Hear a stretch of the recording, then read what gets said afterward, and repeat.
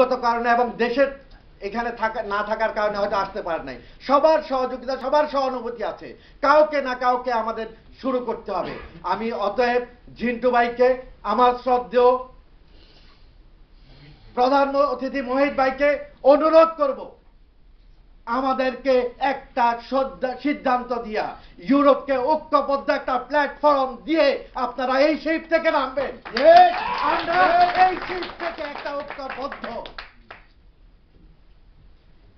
কর্মসূচি এবং তার বাস্তবায়নের লক্ষ্যে প্ল্যাটফর্ম নিয়ে আমরা এই শিপ থেকে নামবো। এই বলে আমি আমার বক্তব্য শেষ করছি। ফ্রান্স ব্যাংকের পক্ষ থেকে আপনাদের অনেক অনেক শুভেচ্ছা, অনেক অনেক অভিনন্দন। আমরা চাই সবাই যাতে আমাদের নেতৃত্ব ছেলে সন্তান হারা কিন্তু আমরা সবাই তার সন্তান। আমাদের দিকে চেয়ে আছেন। আমরা যাতে ভুলে না যাই। একতাই শক্তি এই বলে আমি আমার বক্তব্য শেষ করছি। সবাইকে ধন্যবাদ।